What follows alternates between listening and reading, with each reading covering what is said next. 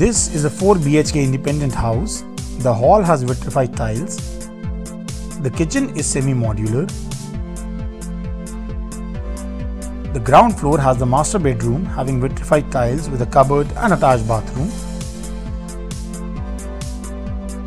The kids room and the guest room both have vitrified tiles and the common bathroom